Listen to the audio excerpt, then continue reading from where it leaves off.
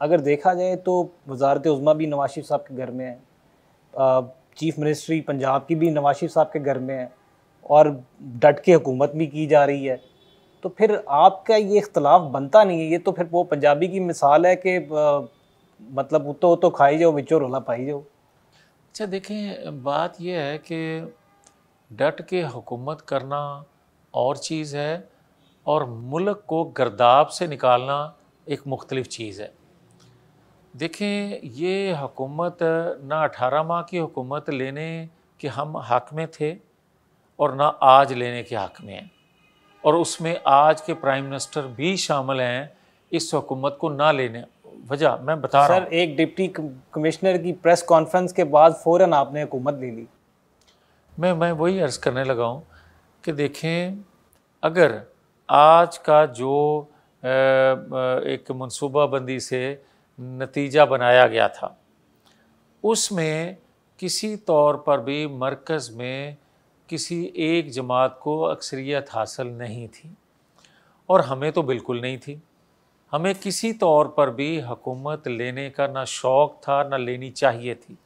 और जो शबाज शरीफ ने ख़ुद को पेश किया, किस वक्त किया, जब कोई लेने के लिए तैयार नहीं था इस चैलेंज को कबूल करने के लिए तैयार नहीं था। यहाँ तक कि जिस दिन मुस्लिम लीग की तरफ़ से ये स्टेटमेंट आया आठ फरवरी के इंतबात के बाद कि हम मरकज़ में हुकूमत नहीं बनाएँगे। जी। आप हम पंजाब और उसमें मैं भी शामिल जी जी। हमने कहा कि हम पंजाब में अक्सरियत है वहाँ बनाएँगे। मरकज़ में हमारे पास अक्सरियत नहीं है हम हुकूमत नहीं बनाएँगे।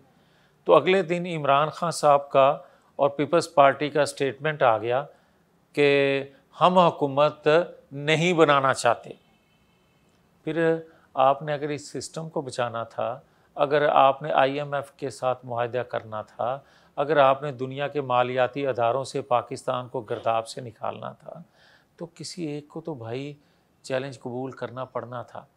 ये चैलेंज जो शबाज शरीफ ने कबूल किया, खुदा करे, उसमें वो कामयाब हो जाएँ। मगर जो मांगे तांगे की सवारियाँ इकट्ठी करके हुकूमत बनाई गई है मेरे खुद खदशात खुदा करे गलत साबित हों क्योंकि रियासत का इसमें मफाद है मगर मुझे लगता नहीं है ठीक। कि इसमें कामयाबी होगी। ठीक। सर छः जजेज हाई कोर्ट के इस्लामाबाद हाई कोर्ट के छः जजेज ने आ, सुप्रीम जुडिशल काउंसिल को ख़त लिखा एग्जेक्टिव और इस्टेब्लिशमेंट की मुदाखलत के ऊपर। और उसके बाद चीफ जस्टिस ऑफ़ पाकिस्तान ने वो मामला एग्जेक्टिव के पास भेज दिया और एग्जेक्टिव ने एक रुकनी कमीशन बनाने का ऐलान करके उस मामले को कोने में फेंक दिया। तो आप ये नहीं समझते कि ये मामला चीफ जस्टिस साहब को ख़ुद टेकअप करना चाहिए था, क्योंकि ये जुडिशरी के अपने अंदर के मामला थे? देखें इसमें दो फ्रीक हैं। एक फ्रीक है जुडिशरी और दूसरा फ्रीक है जिन पे इल्ज़ाम है। जो जो एग्जेक्टिव है ये तो कहीं फ्रीक है ही नहीं। एग्जेक्टिव ने तो अपनी खदमात पेश की एक फ्रीक को कि हम जो कर सकते हैं हम हाज़िर हैं। अब आ जाएँ जब दो फ्रीक उस कमीशन पर राज़ी हैं तो किसी दूसरे को तो सवाल करने का जवाब नहीं बनता मगर कह चुके हैं इस हुकूमत के पास तो अपने वज़ीर लगाने की वो नहीं नहीं ये अलग बात है। मैं अभी उस पर भी आ जाता हूँ। पहले मुझे ये जवाब देने दें कमीशन का। मुझे ये बताएँ कि आप कमीशन नहीं हैं, पीटीआई के लोग। आप फ्रीक सॉरी, आप फ्रीक नहीं हैं इसमें जो दो फ्रीकों के दरमियान है।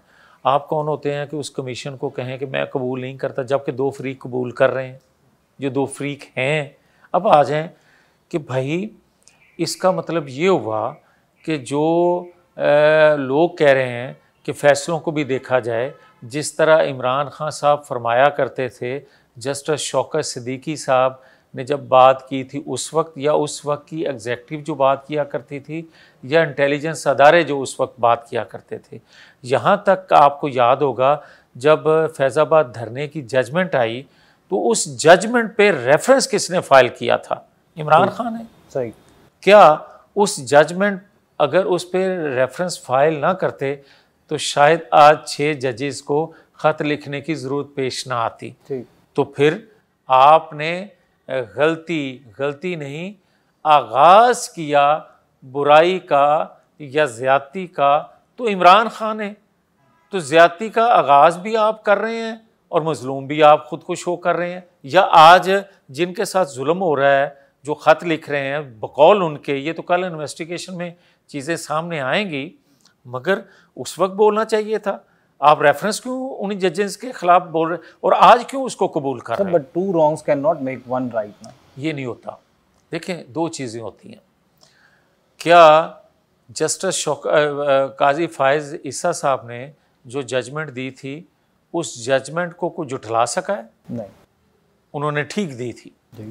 और क्या इंसाफ देने वाला सीनियर मोस्ट शख्स जो है, वो अपने लिए इंसाफ किस तरह माँगता रहा, ये आज जो बातें कर रहे हैं, यही तो सारा रेफरेंस फ़ाइल करने वाले लोग थे, उस वक्त बात करते। और क्या आज जो छः जजेस शिकायत कर रहे हैं, उसमें अगर आज की एग्जेक्टिव जो है, वो शामिल हो, उस तरह की, उस वक्त की एग्जेक्टिव की तरह तो ये कसूरवार हैं सबसे पहले इनको सज़ा मिलनी चाहिए। और अगर ये नहीं है और अगर ये नहीं है जो आज तक नज़र नहीं आ रहा शिकायत उनको किसी और से है वो भी चीज़ें सामने आ जाएँगी तो फिर क्या उस वक्त की एग्जेक्टिव जो सारा कुछ कर रही थी उनको सज़ा मिलनी चाहिए या नहीं मिलनी चाहिए? मिलनी चाहिए। सर पीटीआई के वकला और कुछ मुतद वकला तंजीमों की तरफ़ से ये बयानी है कि ये तो ऐसे ही है कि मुनसिफ ने मुलजिम के साथ मुलाकात की और मुलजिम ने मुदई को कटहरे में खड़ा कर दिया। तो अगर आप एग्जेक्टिव जिसके ख़िलाफ़ वो आ, कहते हैं कि चार्जशीट ही उनके ख़िलाफ़ है तो उन्हीं के उन्हीं ने अगर ये कमीशन बनाकर तो ये फैसला करवाना है तो फिर तो इंसाफ का तो नहीं मेरे भाई क्या बनेगा मेरे भाई इस तरह नहीं है। आप कहते हैं वकला तंजीमें। वकला तो बहुत होते हैं मगर उनकी नुमाइंदा जो जब होती है, तंजीम, उसको ही हमेशा अंगेज किया जाता है, या उसी से बात की जाती है। और फिर उसी से ये अखज़ किया जाता है कि वकला की नुमाइंदगी करने वाले क्या कह रहे हैं। आप देखें, सुप्रीम कोर्ट बार, वो क्या कह रही है? और जो उनके दीगर फोरम हैं, वो पंजाब बार कौंसिल हो खैबर पख्तूनख्वा बार कौंसिल हो सिंध बार कौंसल हो बलूचिस्तान बार कौंसिल हो क्योंकि उनके सर जितने भी नुमाइंदे हैं वो मुस्लिम लीग नून के प्रो अच्छा ये हिमायत से आए हुए अच्छा, मैं खुद एक वकील हूँ इसलिए मैं मेरी बात सुने एक सेकंड उनको वोट दिया? जी।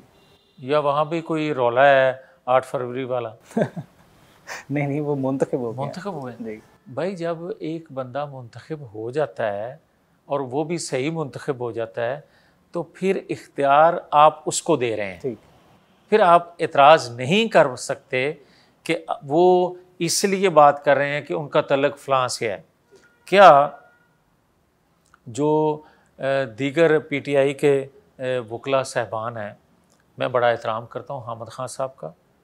हमेशा उन्होंने कानून आइन की बात की है। ये केस किसने लड़ा है? हामद ख़ान ने। शौकत सदीकी वाला। क्या मैं इसलिए कहूँ कि शौकत सदीकी वाला केस जो है वो हामद ख़ान लड़ रहे थे, लिहाजा मैं ख़िलाफ़ हूँ। जस्टिस चीफ जस्टिस जो हैं, काजी फायज़ ईसा साहब, उनका केस कौन लड़ रहा था? हामिद खान साहब लड़ रहे थे। और क्या मैं इसलिए मुखालफत पे खड़ा हो जाऊँ क्योंकि हामिद खान मुझे नज़र आ रहे हैं? ये नहीं होता। आप देखें, ये ना देखें, कह कौन रहा है? ये देखें, कह क्या रहा है? क्योंकि उन्होंने बात की है और सही एक असूल की बात की है मैं कहूँगा कि हामिद खान हमेशा एक असूल की बात करते हैं मैं इज़्ज़त करता हूँ उनकी। ठीक।